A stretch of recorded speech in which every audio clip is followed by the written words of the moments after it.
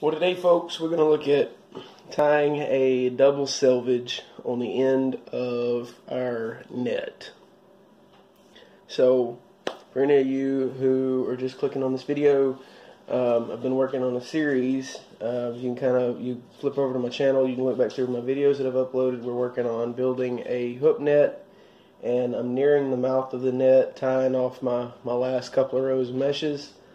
And if you've ever looked at webbing and you've seen on the ends of it where it's got two lines of of twine, it's called a double selvage. Um, and if you've ever been curious as to how they do that, this is your video. So stay tuned. Um, there's a specific way you got to load your shuttle to make it work. There's a little bit of math involved, so let's jump right into it. So the first thing we need to know is how much area, how much line we need to cover. So in our net, we have it's a 30 inch net. We have 60 meshes, and each mesh takes three inches of string. Now it's an inch and a half mesh. We've been using our inch and a half board, okay? And to do that, we go over the top of the board and then under the bottom of the board. So it's an inch and a half and an inch and a half. So three inches.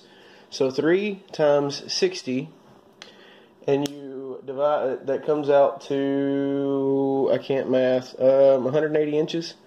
And you divide that by, so 180 inches is a really big number. It comes out to somewhere around 15 feet, 15, 16 feet. Um, I happen to know that my arm span is about six foot. So what I'll do, I'll take, you have to just, instead of loading your shuttle, just taking your tag in, tying it on your shuttle and going from there. I'll take, stretch this out the whole span of my arm. So I've got six foot.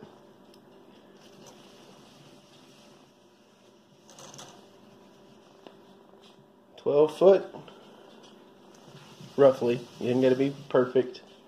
18 foot. Now I'm going to go extra because it never hurts. We want to make sure we get enough line. So now we've got we've got 18 feet, 18, 20 feet of line. I'm piling it all up right here just so you can see. It's all still connected. 18 to 20 feet of line. Okay, here is our tag end. Here is our shuttle. Here's our pile of line that we've pulled off the spool. And here is our, this is just where we decided that we were going to start tying. We'll take this and we'll just, we will stick it on there, just a loop. You don't need anything fancy. If you really want to secure it to make sure it doesn't go anywhere or slip, you can take and go around there, around there, and a third time, and that dude ain't going nowhere. Now we're going to load our shuttle like we would with just a standard row of string, but we're going to use the two lines, and this is where it's going to try and get really messy. Okay, so we got two lines of string. Now we've got all of our extra that we pulled off, and we're just going to spool that up two lines at a time. Both lines. You want to keep tension on this because it's going to try and act sort of squarely.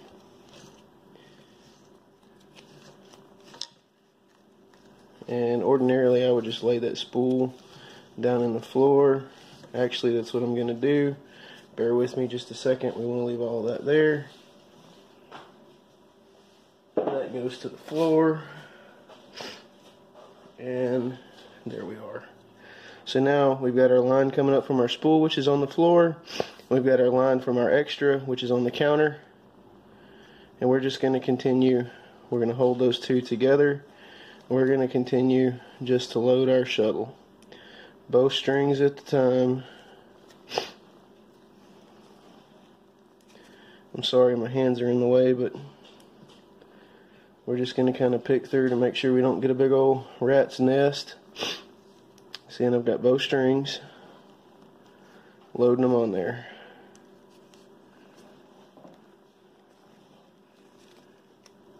So we're loading two at a time. We're going to unload two at a time. Pardon the dog, she's found something she doesn't like.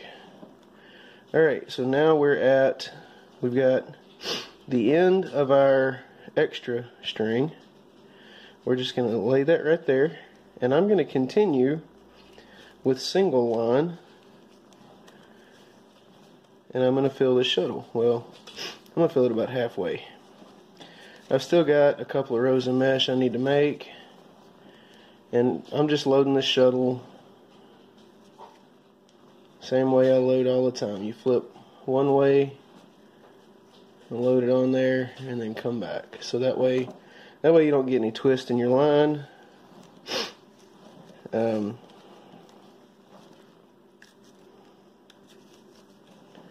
we're just going to continue to load and then when we tie back in we're tying back in with one string so we tie back in like we always did. We're just going to tie into our last loop where we finished with our double sheet bend or however it is that you tie back in, a single sheet bend, double sheet bend, it's up to you, it's your webbing. Um, I just want to make sure that I get enough on here to where I can run. Um, I need to run about three rows of mesh before I get into my double selvage. So I'm going to finish this up and I will I'm just going to tie back in, run my meshes, and I'll see you here in just a second, thanks to the magic of movie editing.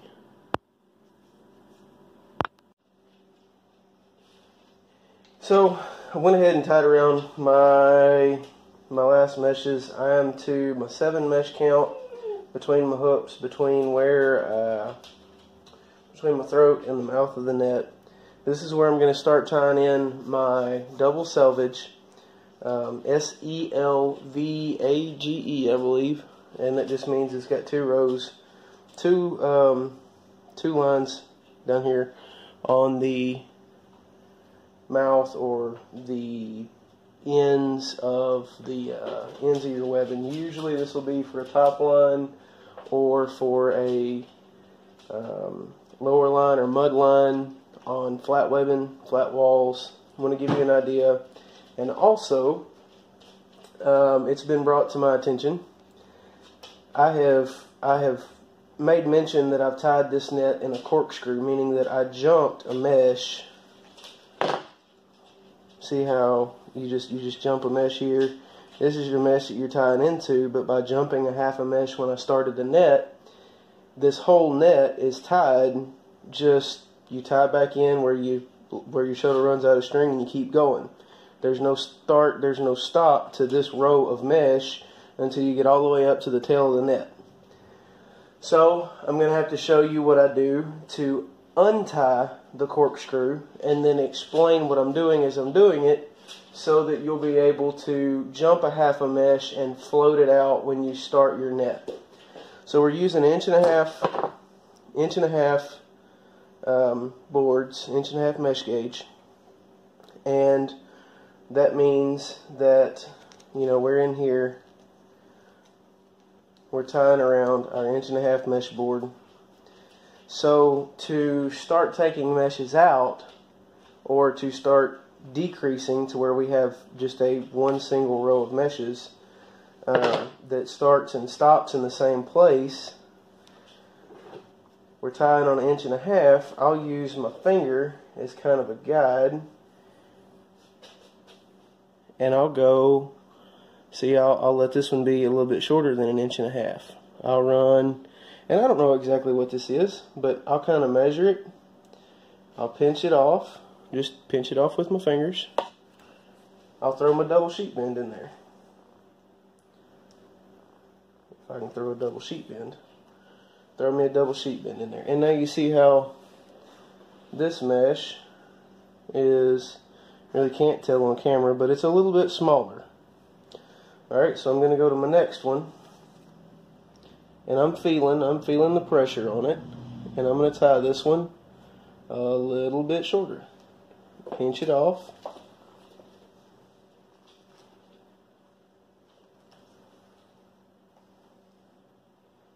It's just a little bit shorter. Now these meshes are going to gradually decrease in size. If you're if you're not confident, you're not comfortable trying to tie it off by hand, to decrease your mesh size like this, grab you a, um, let's see, we're tying an inch and a half webbing. Tie, grab you about a half inch or a, uh, maybe a, a half inch mesh gauge. When you start, because you're going to be, remember when you start adding your loops, you're going to be, you see now I'm, I'm coming on down with it, see? I'm coming on down with it. When you start adding meshes in the tail, you're going to start small and go bigger until you get to your inch and a half size.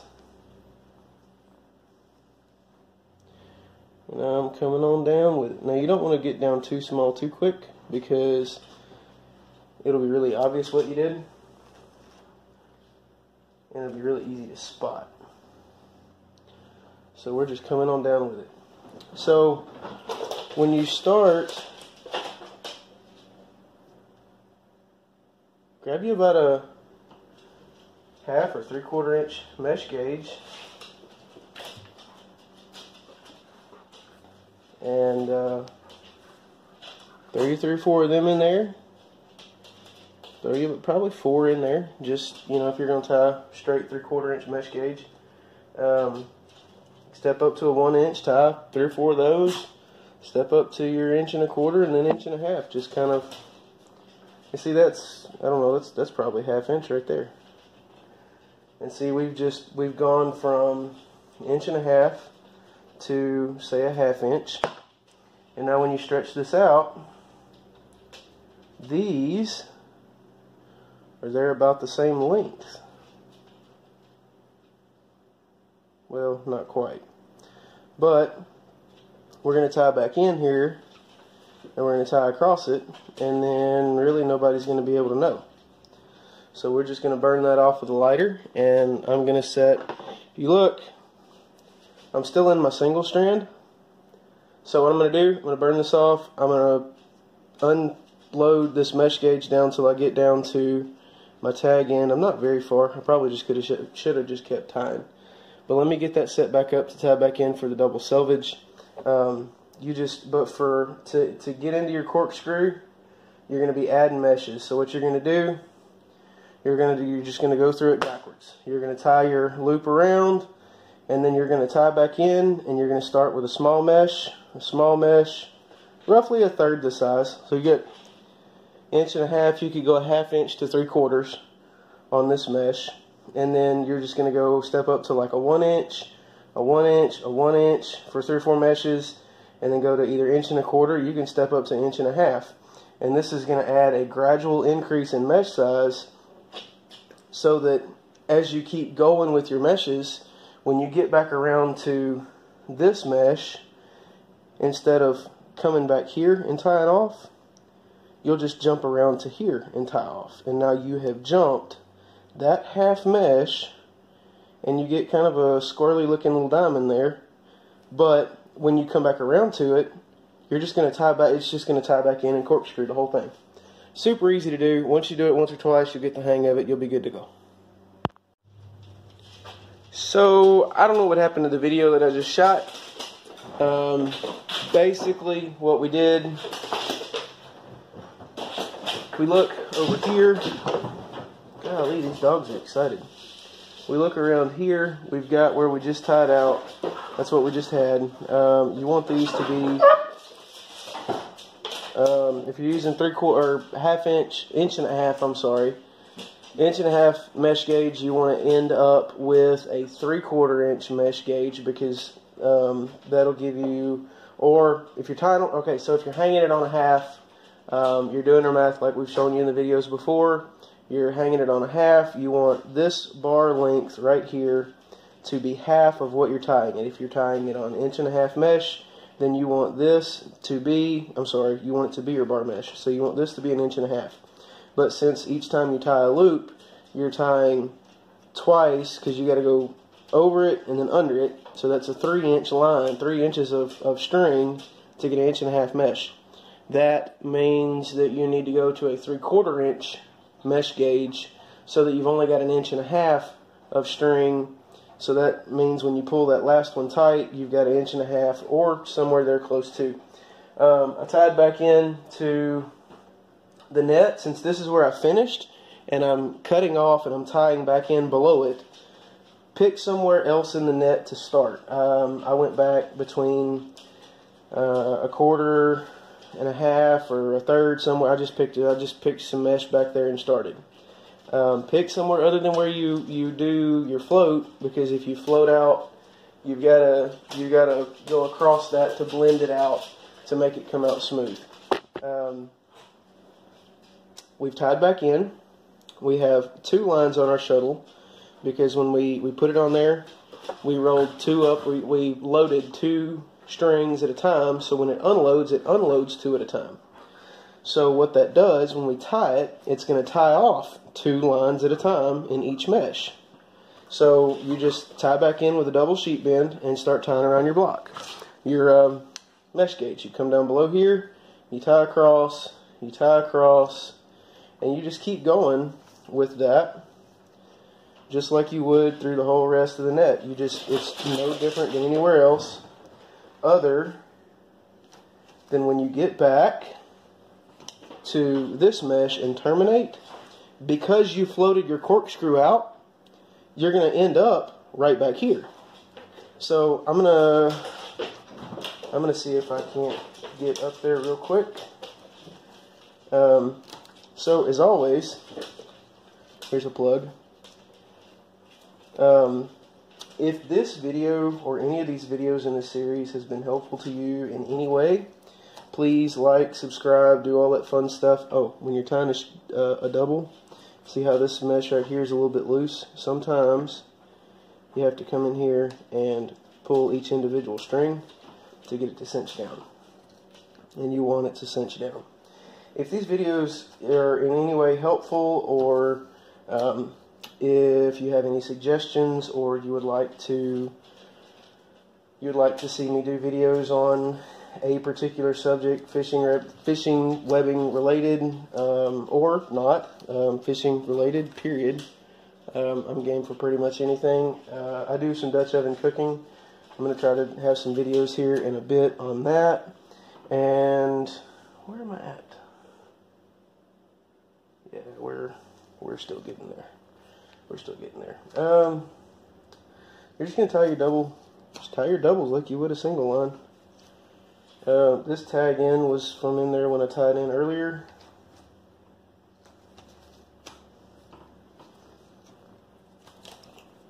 Apologize for this being so boring. I'm trying to hurry. This is some great, great video footage right here. You're watching a guy tie webbing. You must be bored. Um, any suggestions to better the quality of my video other than don't shoot it off a cell phone? Um, any tips or hints? Um, if you tie webbing and I'm doing something wrong, just drop me a comment, leave me a leave me a suggestion or a message. Um, I'm open to all kinds of stuff.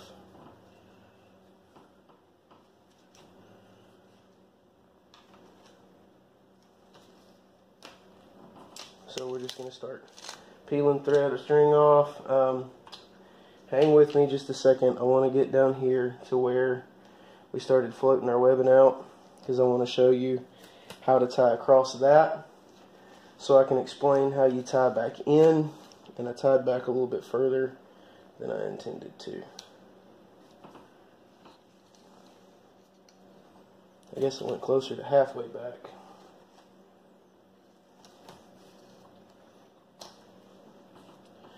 Um, coming up in this series, I'm going to tie. Alright, okay, so here we go. You see how when I pull this mesh down, this right here starts getting loose? That is to be expected because this mesh was tied a little bit smaller. This is where I started decreasing the mesh size. Okay, now this one is going to be a little bit smaller still. So we're getting that little bit of lax in it.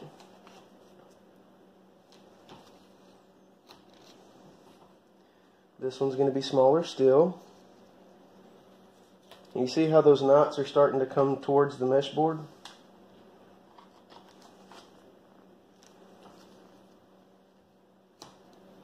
we're starting to come down at a slope here. It's because we're pulling that pulling that corkscrew out of it. Now you don't have to start, you don't have to trace your knots all the way back to where you started the corkscrew and jumped your mesh. You ain't got to do all that because by now you've tied 14 feet of webbing and it's all running straight. Here's a tip. When you get down here, this, this mesh is kind of small right here. So we're trying to fit our needle up through here, and now we do not, we literally do not have enough room to stick that through there. Back off of that mesh a little bit, fit your shuttle through there, like that, and then I'm going to stick this right here. Well, no, it's not going to work. Well, I got it. Come back, what's under your thumb when you ran through there? Pull that back down.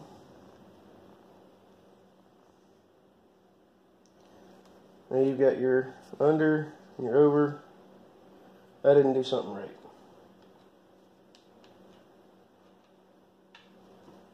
Even the best of us make mistakes. What did I not do right?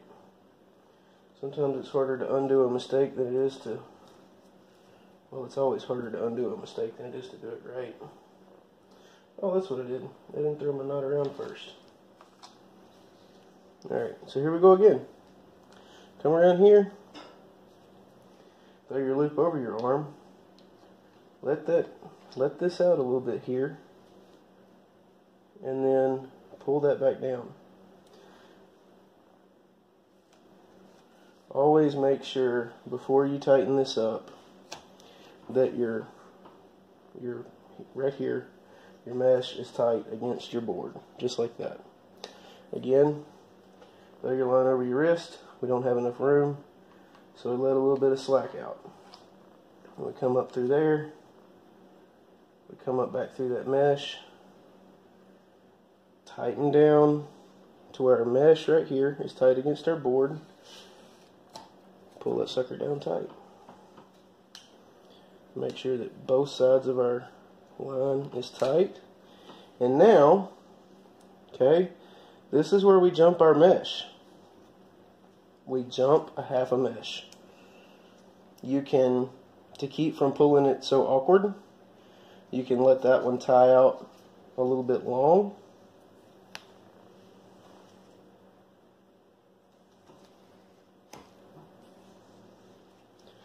This one needs to tie in a little bit closer.